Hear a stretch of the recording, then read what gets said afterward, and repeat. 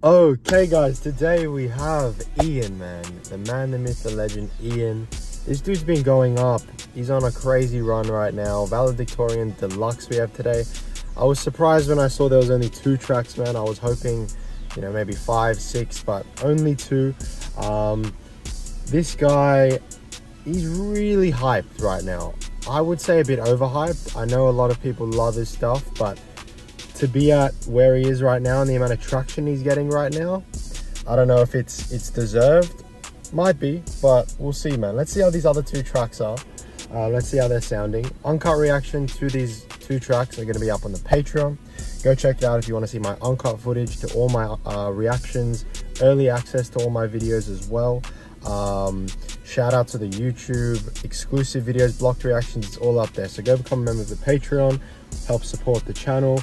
Without further ado, guys, let's hop into the two tracks on this deluxe. We have Options is number one, then Magic Johnson. Let's go. Options. Turn it, turn the uh, volume up real quick. Okay. Options.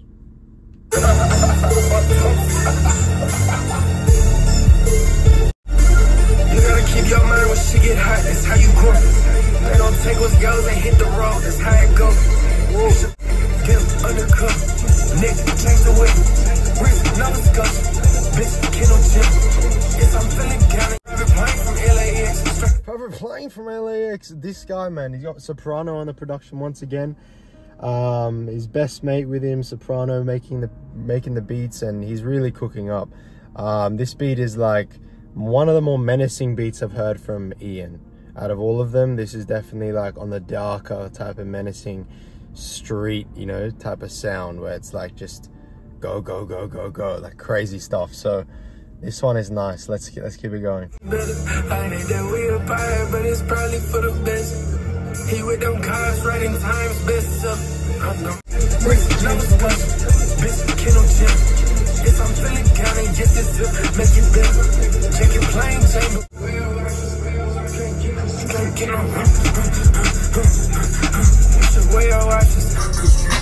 no job around here. I try to keep the pen of calm right until I'm Dead. I buy so goddamn hot, I feel like prime LeBron James. Ooh. I bust so fucking hard, I feel like prime LeBron James. He loves his references to all these people, man. Marshawn Lynch, and now, and then he's got the Magic Johnson one, LeBron James. Who's next? My chest point. My time that time for the and transfer. You gotta keep your mind when shit get hot, it's how you grow. Nigga, change the way. Wrist, now it's. Bitch, kid on chin. Yes, I'm feeling county, yes, it's zip. Hey, bitch, Kendall Jenner? For honey. Oof. Okay, that one's one of my favorite Ian tracks, man. Uh, just a quick recap on the actual valedictorian project. Never Stop, uh, Airbnb, and Omakase. Probably my top three, other than if we're taking out um, Figure It Out and Grand Slam. But I think Omakase is still the best. But options, man, that's that could make the top three. I really like the uh, energy on that one. That's more of a gym track for me. That's one I'm to be going hard at um, at the gym with, you know. So that that's a nice one. I'd say about a. Oof. I'm gonna go for a light 8.5, man. 8.5 for that one. Adding it to the playlist nonetheless. Let's finish it off with Magic Johnson. So this one, everyone was always talked about this one. I think I heard it on a live stream, um, the unreleased version. Let's see how this is sounding, man. I can't remember what it actually sounded like. So this is could be about a this. You could say this is a first reaction to it. Let's go. I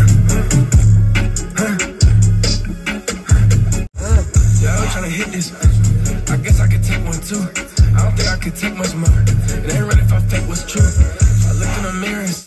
I much less than I right now. I'll probably retire. It's on my chest, I'm doubling down. It's too late to look for the exit. I'm just trying to be myself. I got everybody mad at me for it. I hate to be so hot. They give me a surplus battery for it. I'm just trying to be myself, but I got everyone mad. You know, he's got everyone mad about it. So, oh man, Ian, bro, Ian, Ian, Ian. He's got a bounce, a bounce to him with, with these tracks, man. It's like similar to this funk wave that's emerging now. Very similar in terms of the bounce we're hearing. You know, just and and his and his ad libs. I've said it before, very Yeat esque ad libs. The way he goes, he has his high pitched ad libs that he likes to add in there. Um, but overall, Soprano's a big, a big um, factor in helping this dude grow as well because they're like the, you know the duo. Sometimes you need that producer rapper duo, which really just clicks and works, and that's that's them too. You know, you know the ad lib, uh, not the ad lib, the um, what's it called? The producer tag. I think it's Ian going. I think that's Soprano's uh, producer tag now. It's pretty cool. I guess I take one too. I don't think I could take much more. It ain't right if I fake what's true. I looked in the mirror and saw your ass. I probably would hate me too. Fuzzy, so you can't get attention from me. If I got 100, first up, contention for it. I'm gonna keep my head up. I remember that bar actually on the live stream. They're trying to steal my sauce like plankton with this shit. Wow. That's a bar. Such a shame to see that. Yeah, I was trying to hit this. I guess I could take one too. I don't think I could take much more. Magic money talk, the magic just. I don't see no funds involved, so you can't get attention from me. I got 100, You like when I make that home? I got the money to do. Yeah, you know that go. Oh wow. So that one actually wasn't produced by Soprano. That was uh, Taz Taylor and a couple others. Rio Leyva and Desmo, Uh, Q I O H and Desmos. Okay. Um, but yeah, in general, it's good to have Soprano behind him. But this uh, deluxe, I'd probably say I like I would have liked more uh, tracks, but as for Magic Johnson, we got to rate that track. I'd say only about an 8.6. Still a playlist. It's catchy. It's got the bounce to it, um, and I don't know. I, I just think um, I think he's a little overhyped, a bit too overhyped. Um, he's just grown so quickly, but I need I need another a proper a whole nother album from him next. And and whatever that whatever the la- the next album sounds like will determine what I really think of Ian. Because right now it's just the beginning.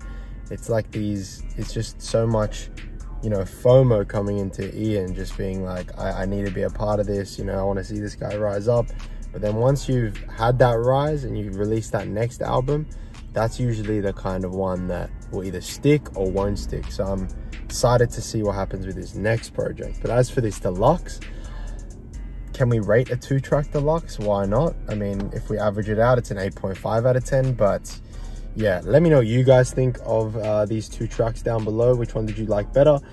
Um, but yeah, options was really crazy, like intense, up tempo, menacing. So that could be one I actually play more than Magic Johnson. I think Magic Johnson's a bit overplayed at the moment. But anyways, let me know what you guys thought of it down below. Like the video if you did enjoy, we'd much appreciate it. Subscribe to the channel if you are new, and I'll catch you guys in the next video.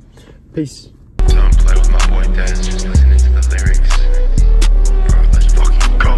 They talking bullshit, they do it for clicks. I'm at my grind at the top of this bitch. I let them watch it like they're taking tips. I let them watch it like they're taking tips.